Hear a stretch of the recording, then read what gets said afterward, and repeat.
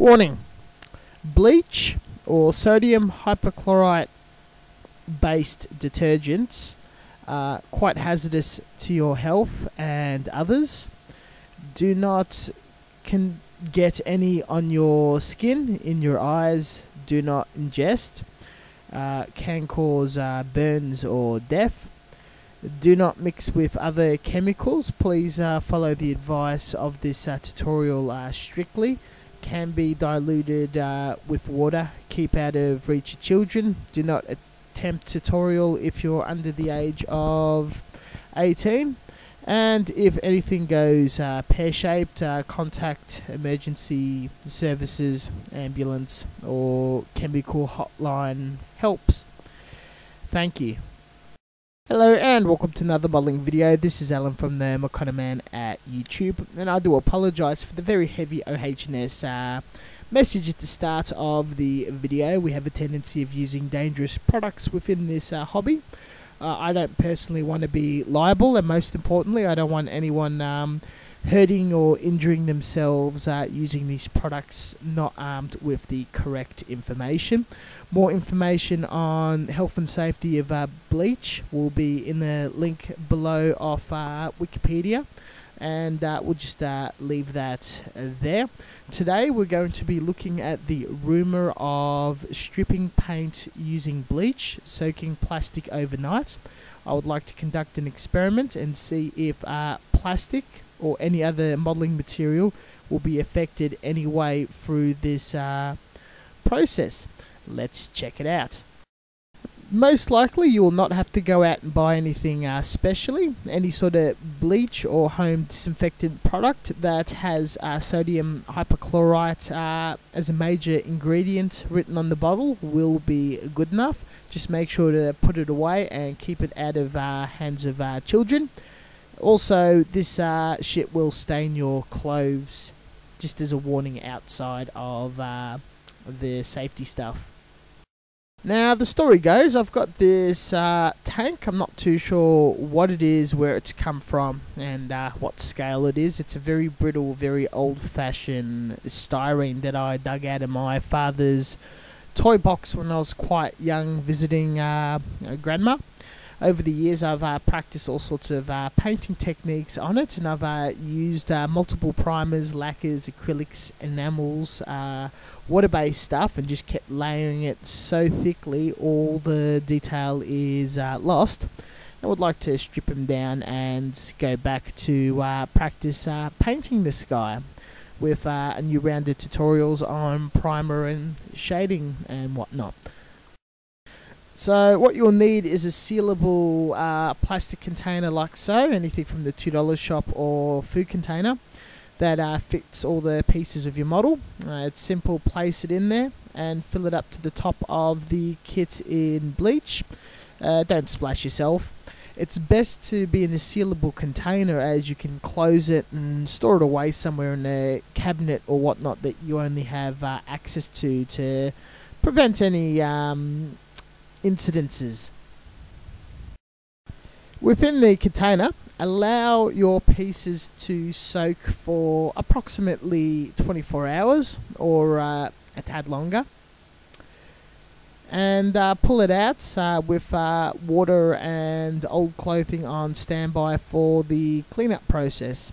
It's uh, fairly easy uh, once you take it out and rinse the pieces. The paint should just easily, easily uh, peel off by pushing it with your fingers or just uh, washing down the drain. Uh, it is uh, safe to dilute or pour this uh, chemical straight in the drain as it immediately uh, gets diluted by water and becomes some sort of like a pool chlorine substance. So you're not going to get in trouble with your local government or anything. If anything, you might unblock your drain.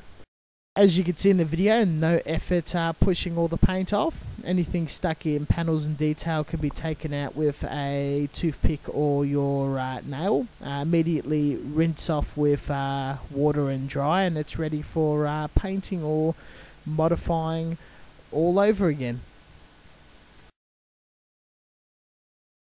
Now, the first time I've heard about this technique, the first thing on my mind was uh, multimedia kits and especially Gundam kits. Is this going to destroy polycaps? Is it uh, going to destroy tracks of uh, soft vinyl kit? Is it going to fog up clear pieces? And is it true that special coated foil pieces, such as the shiny uh, Gundam kits, can also um, be lifted off using bleach? Uh, the selection of items here I've got a piece of resin, uh, Gundam model kit polycap, uh, clear styrene canopy off an aircraft kit, uh, a bit of um, special coated piece of a Macross uh, Valkyrie Bandai kit, and a small piece of vinyl track off the 72nd Airfix kit. I want to see uh, how these react after 24 hours uh, soaked. As you can see, uh, the five pieces are sitting in the container. I assure you they actually sat in there for a day and a half due to not me being able to access uh, this work immediately, work and whatnot. Let's have a look at the results.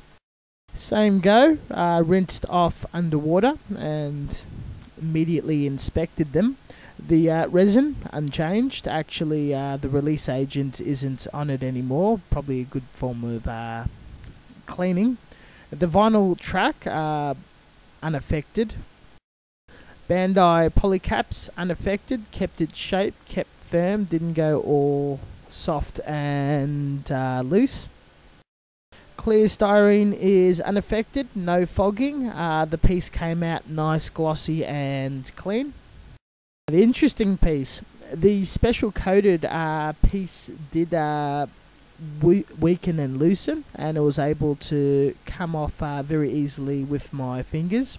To my surprise, this old kit is actually uh, clear uh, orange acetate like plastic, not quite uh, styrene, and there's a bit of a super glue mark in the corner. But yes, special coated kits do do quite well in this uh, scenario if you want to strip them off without uh, sanding them or any other tedious process. All in all, I'm calling this uh, theory debunked. Uh, bleach is an amazing paint stripper of uh, all sorts of uh, material kits and it can strip any paint off uh, successfully in as little work as humanly possible as the process of the tank without having any um, negative effects on multimedia parts. Thank you very much for watching and as always check out uh, for more videos and tutorials. Just remember to remain um, vigilant when uh, handling these uh, chemicals especially around family or other um, individuals that can hurt themselves. Catch you guys later.